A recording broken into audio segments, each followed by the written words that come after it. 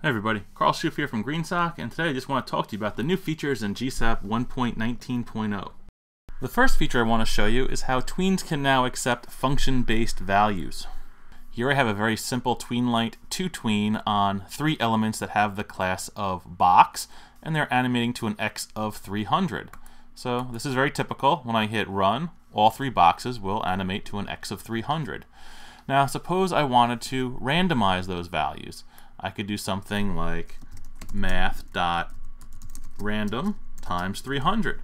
And when I run this tween, you'll see that all three boxes go to the same random value.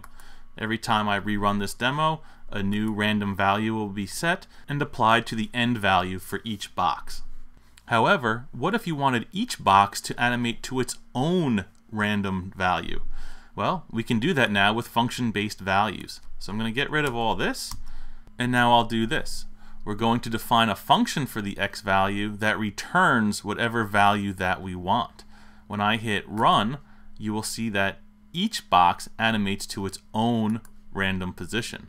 This is really pretty cool. You have one single tween that has three unique values generated for all three of the targets. The really cool thing about this is that this function is also passed two values, the index and the target, okay? The target is the element being tweened, and the index refers to the index of that element in the array of targets. So if we want to do something like tween to increments of 100, we might do index times 100. I'm going to hit run. And so you'll see that the first element goes nowhere because its index is 0. 0 times 100 is 0, and then we get 100 and 200. You might be asking, well, what's the target? Well, let's log it out. We'll see what we get. I'm going to do console.log target. Going to hit run, and we'll open up the CodePen console, and there you see we have our three divs with the classes of green, orange, and gray.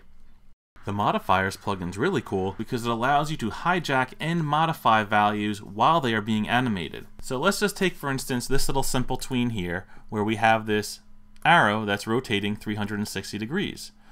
You might want to say, hey, you know what? Let's snap the values to only be 45 degree increments, okay? We don't want a smooth rotation, we want to snap to 45 degrees.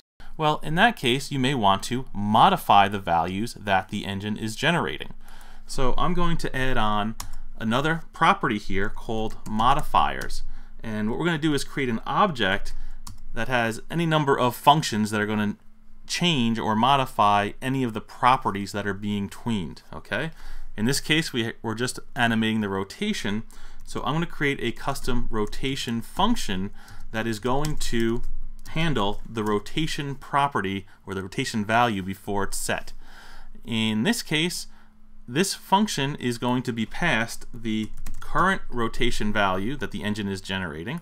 And I just want to show you that inside this function, I can log out what that rotation actually is. All right, so I've put a few lines of code in here. I'll go over it one more time. We're rotating to a value of 360. I'm telling the modifiers plugin to apply this rotation modifier function that's going to, right now, log out the rotation. I'm going to hit run, and you'll notice two things. One, the arrow isn't spinning, but in the console, I'm logging out numbers between 0 and 360. So here, I'm showing you the value as the tween is running. Now, as soon as I put this rotation modifier in here, the engine is waiting on me to use this function to return a value that's going to be applied to the arrow's rotation. And I haven't done that yet, which is why the arrow isn't moving. So if I put in here return rotation, you're going to get the arrow actually spinning around again. But the purpose of this demo isn't to use that same rotation value. We want to change it in some way. So we can return any value that we want.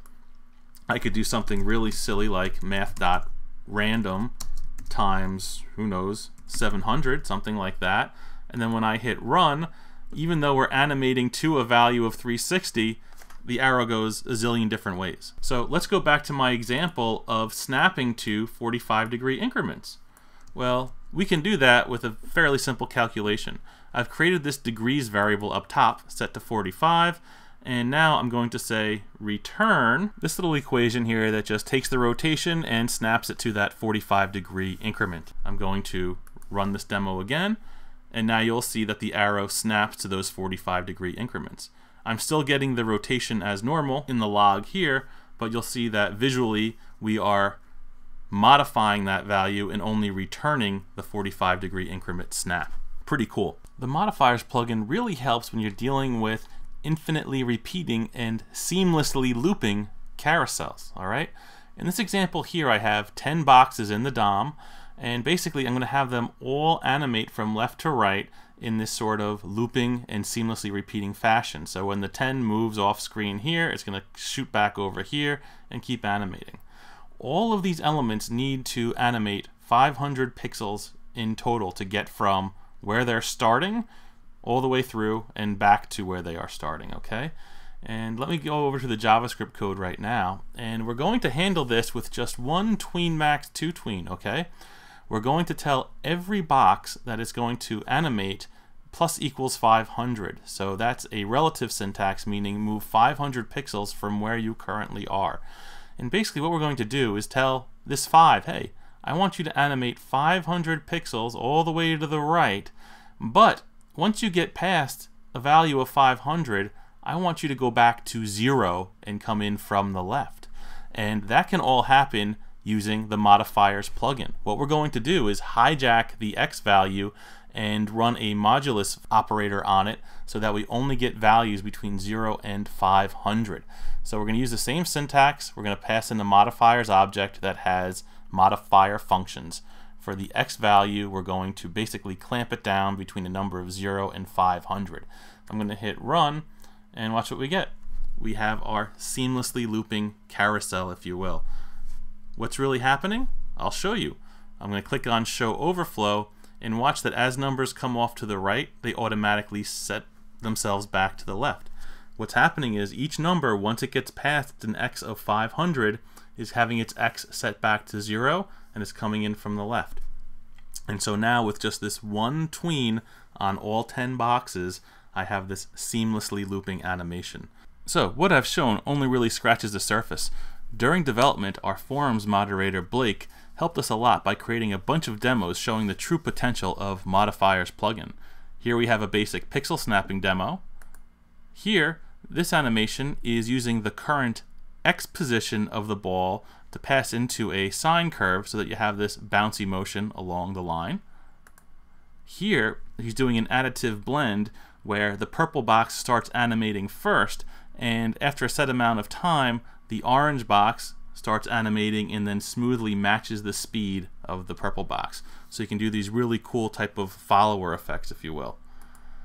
This is an awesome particle emitter where the modifiers plugin is using the X and Y modifiers to get these really nice explosions using Canvas as you can probably tell. Really beautiful. Encourage you to play around with this one. And awesomer still is homing missiles, all right? As I move my mouse, modifier functions are updating the tweens on those missiles to nicely curve around and follow my mouse.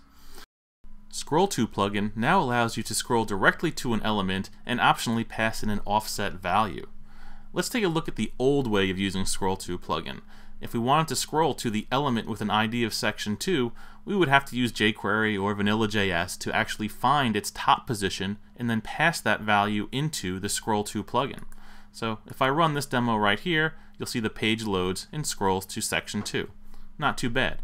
But with the new version in 1.19.0, we can get rid of all that code and just pass in the element that we want to scroll to.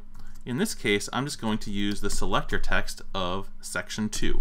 We're going to find the element with the ID of section 2, and when I hit run, we're going to get the same behavior, but with a lot less code. You'll notice that section 2 comes right up to the top of the browser window here.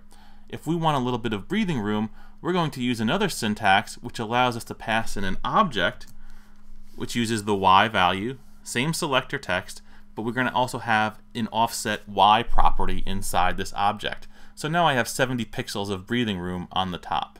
When I hit run, you'll see that we scroll to section 2, but we have that 70 pixels right here.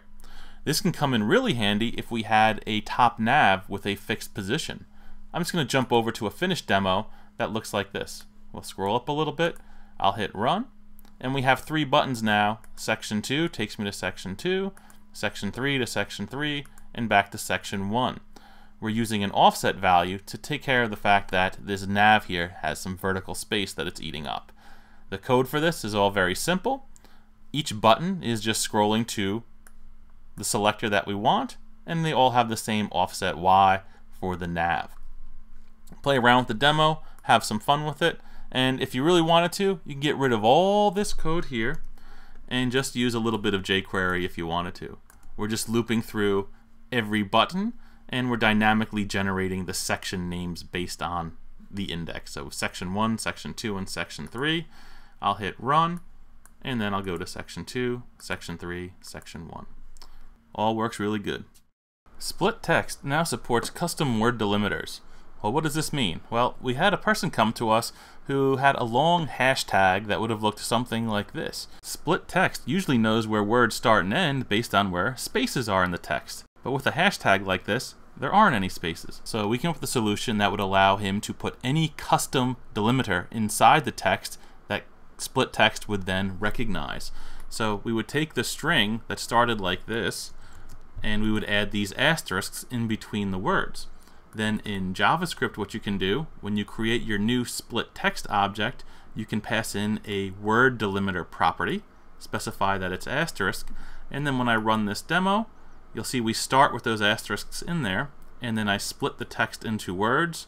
They go away, there's no spaces, and everything works perfectly. Alright, so that's what's new in 1.19.0. We're excited about these new features. Please check them out, take them for a spin, if you have any questions, swing by our forums. We're happy to help. Happy tweening.